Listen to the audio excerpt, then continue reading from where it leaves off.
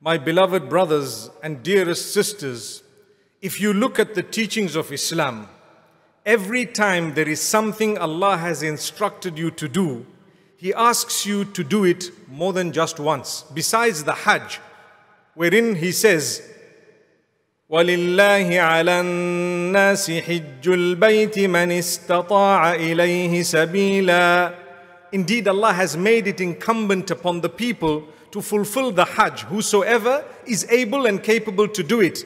And the explanation of it teaches us that the compulsion is only once in a lifetime. If you want to do it more than that and you are able and permitted, then it's okay. But the compulsory nature of it would only be once for those who can manage. However, if you look at prayer five times a day, every single day, you need a lot of discipline to fulfill that. So there must be a reason why Allah wants us to be disciplined and fulfill it every day. Similarly, when Allah created the night and the day, He made it rotate. يكور الليل على النهار ويكور النهار على الليل Allah causes the night to go into the day and the day to go into the night. When the night is long, the day becomes short. And when the day is long, the night becomes short, and so on.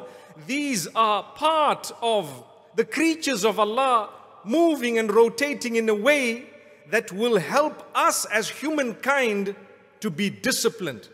There is a night that will come this evening.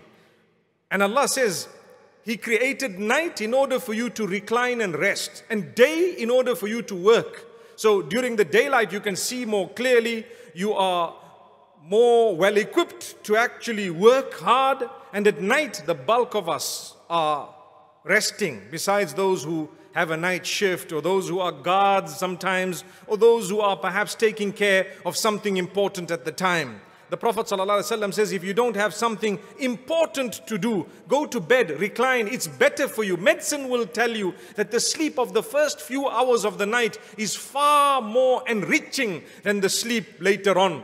And this is why we do believe in the notion early to bed, early to rise, etc., etc., etc. It makes you healthy. I don't know about wealthy, but I do know wise.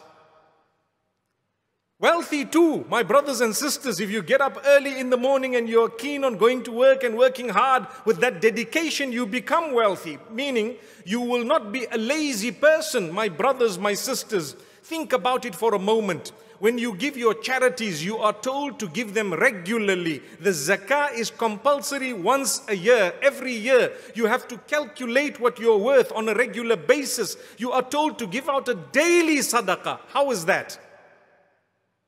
This is something Allah wants from you discipline. Allah wants you to do it every day. You get up in the morning, you make sure you are up. Because if you're not, then it's only you to blame. Do you know that man's body is created in a way that it becomes used to certain things that it has made itself used to? Subhanallah.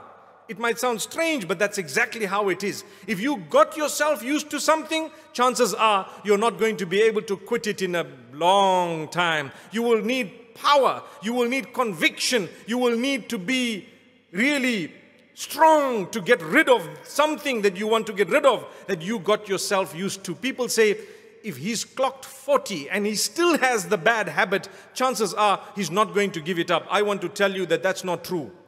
If you have the willpower, you can give it up now. If you have the strength, you can give it up now. No matter what the bad habit is, you can give it up. You need the willpower, you need the help of Allah, you need to replace it with something that is going to occupy you in a better way.